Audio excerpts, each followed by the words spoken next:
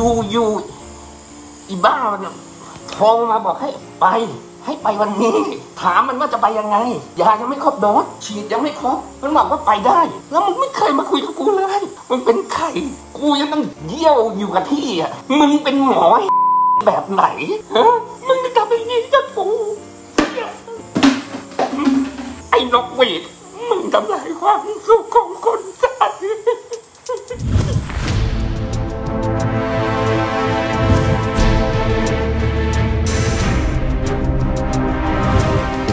ได้ออกไปเมื่อเช้าตรู่วันนี้นะครับ ผมผมจำเวลาที่แน่นอนไม่ได้ก็เป็นตอนเช้า เจ้าที่ที่วอร์ดนะครับก็ก็ทราบครับว่าคุณวัฒน์จะออกนะครับ แต่ที่สำคัญก็คือได้ได้โทรคุยกับผมเรียบร้อยนะครับ ที่จะขออนุญาตออก ช่วงสี่ทุ่มที่โทรคุยกับผมนั้นนะครับก็ไม่ได้กำหนดเวลาว่า ท่านจะออกเมื่อไหร่นะครับ ก็คงตัดสินใจตอนเช้านะครับ ว่าอยากจะออกแต่เช้าก็ อันนี้ก็ได้ได้อนุญาตให้กลับครับ อันนี้ผมต้องเรียนตามตรงเลยว่าผมผมไม่ทราบว่าใครใครปล่อยคลิปข่าวคลิปเสียงเนี่ยนะครับ อันนี้อันนี้ผมทางโรงพยาบาลไม่ไม่ไม่ได้ทำเรื่องเหล่านี้ครับทางโรงพยาบาลเราเราจะเพราะคลิปเสียงก็เป็นเรื่อง เป็นเรื่องส่วนบุคคลนะนะฮะเป็นเรื่องส่วนบุคคลแล้วก็เอ่อคลิปเสียงนี้เอ่อผมผมไม่ทราบว่าใครเป็นคนปล่อยยังไงคแล้รัวบกรณีคุณนวัดเนี่ยมันท่านต้องให้รองผู้อำนวยการมาชี้แจงในการออกหรือเข้าโรงพยาบาลเองเลยฮะหรือไม่ให้ทางแพทย์ที่ดูแลรักษาไปแจ้งความอ๋ออย่างนี้ครับเนื่องจากเราแบ่งหน้าที่กันนะเนื่องจากที่เราจะแจ้งร้องขอความร่วมมือเนี่ยนะครับ เรามีจุดคนไข้จำนวนเยอะนะครับแพทย์ที่รักษาเนี่ยเขาเขาเขาก็รับทราบนโยบายของโรงพยาบาลนะครับ คือโรงพยาบาลทุกโรงพยาบาลไม่ว่ารัฐหรือเอกชนเนี่ยเมื่อคนไข้ดีขึ้นเนี่ยนะครับแล้วก็จำนวนเตียงผู้ป่วยที่ล้นแบบนี้นะครับ ทุกคนก็จะขอความร่วมมือทุกที่ครับ คือคือผมผมเรียนว่าเรา แพทย์เนี่ยอยากจะร้องขอให้คนไข้นะครับที่เราดูแลอยู่หรือเรากังวลว่าอาการจะจะมีการเปลี่ยนแปลงเนี่ยนะครับ ก็ร้องขออันนี้ก็เป็นสิทธิส่วนบุคคลด้วยส่วนหนึ่ง แต่จริงๆแล้วโรงพยาบาลเนี่ยด้วยโรคโควิดที่มันมีมีความรุนแรงในการระบาดเนี่ยค่อนข้างแรงนะครับ เพราะฉะนั้นเนี่ยเราจะอาศัยกล้องวงจรปิด ในบางกฎในบางช่วงนะครับ ที่เราอยากจะร้องขอให้คนไข้ให้ความร่วมมือ เพื่อเราจะได้ไม่ต้องใส่ชุด PPE เข้าๆออกๆตลอดเวลานะครับเขาตัวของเขาอ้างว่าเขาเนี่ยยัง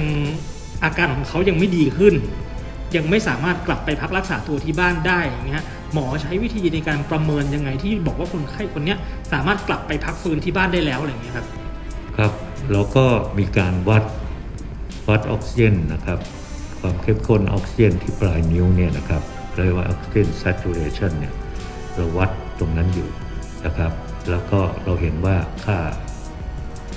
ไอออกซิเจนแซตเนี่ยนะครับสูงพอที่จะสามารถกลับไปพักฟื้นที่บ้านต่อหรือ hospital ได้ด้วยด้วยค่าที่มันสูงขึ้นมากว่าเดิมเยอะนะครับ เดิมกว่าเยอะ แต่ก็ไม่ถึงกับร้อยเปอร์เซ็นต์นะครับ ต้องเรียนก่อนนะครับ อันนี้เราเราก็แจ้งให้ทราบว่าก็ปลอดภัย แต่ว่าไม่ถึงกับเหมือนคนทั่วไปนั่นกับสิ่งที่คุณนวัดไลฟ์มาตลอดนะฮะมันมันทำให้โรงพยาบาลเสียหายไหมหรือว่ามีมีการพิจารณาที่จะดำเนินคดีกับคุณนวัดไหมครับ คือผมคิดว่านโยบายของโรงพยาบาลเนาะเราดูแล ทั้งร่างกายและจิตใจนะครับ ผมคิดว่าทุกคนที่ไม่สบายเนี่ยจิตใจอาจจะหงุดหงิดอาจจะไม่ไม่พร้อมที่จะสื่อสารอะไรเต็มร้อย หมายความว่าเอ่ออาจจะมีจิตใจที่ยังยังไม่สบายใจนะเวลาไม่สบายตัวก็จะไม่สบายใจไปด้วยนะครับ อันนี้ทางโรงพยาบาลคงไม่ได้คิดจะจะดำเนินคดีหรือเรียกร้องใด ๆ ครับ มีการดำเนินการอะไรกับทางคุณนวัดนะฮะในการใช้สิทธิพลาดพิงครับอันนี้ทางเราเนี่ยนะครับเราก็อย่างที่น้องๆถามเนี่ยทางโรงพยาบาลก็พยายามที่จะหาทางเนาะหาทางให้เรื่องราวเนี้ยจบลงด้วยดีนะครับ เช่นวันนี้เราก็มามาเล่าให้ฟังว่าตอนนี้สถานการณ์เป็นยังไงนะครับ คนไข้ก็ได้กลับบ้านไปที่เรียบร้อย